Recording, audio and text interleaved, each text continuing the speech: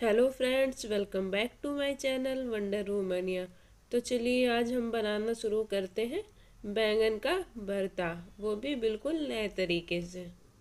के लिए हमने यहाँ पे एक बैंगन ले लिया है। उसके ऊपर अब हमें अच्छे से तेल लगा देना है। अब हमें बैंगन को अच्छी तरीके से चारों तरफ़ घुमा घुमा के भून लेना है। जब तक हमारा बैंगन भुन रहा है, तब तक हम और चीज़ों की तैयारी कर लेंगे। यहाँ पे मैंने एक प्याज काट लिया है और थो, दो हरी मिर्च थोड़ा सा लहसुन और थोड़ा सा अदरक और हरी धनिया। और मैंने यहाँ पे एक टमाटर भी काट लिया है। हम बैंगन को चारों तरफ़ अच्छे से घुमा घुमा कर पका लेंगे।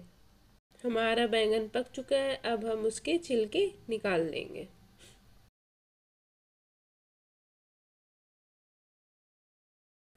अब हम एक कढ़ाई में थोड़ा सा तेल डालेंगे। तेल हमारा जैसे गर्म हो जाएगा, उसमें डालेंगे जीरा। और एक चुटकी हींग। अब हम उसमें डाल देंगे अदरक और लहसुन। और उन्हें अच्छे से पका लेंगे।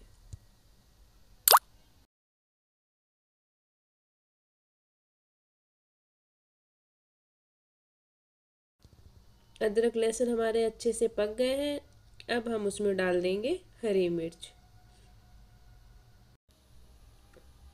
मिर्च को थोड़ा सा पकने के बाद अब हम उसमें डाल देंगे प्याज। और प्याज को भी भून लेंगे।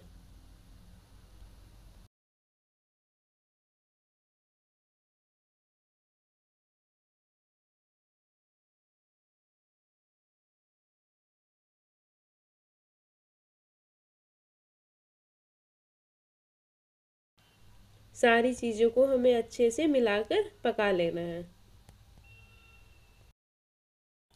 अब हम उसमें डाल देंगे टमाटर। टमाटर को भी अच्छे से मिला लेंगे।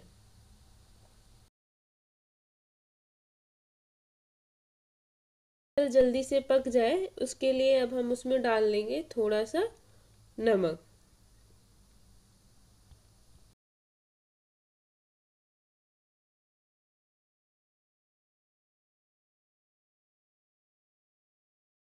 जब टमाटर अच्छे से पक जाए, तब हमें उसमें बैंगन डाल देने हैं।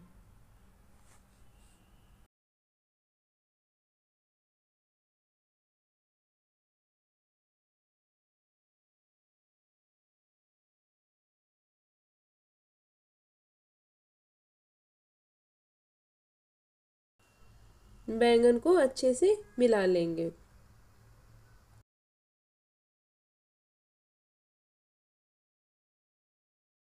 अब हम उसमें डालेंगे हल्दी। और थोड़ा सा लाल मिर्च। और धनिया। थोड़ा सा गरम मसाला। अब हमें सबको अच्छे से मिला लेना है और थोड़ी देर पका लेंगे।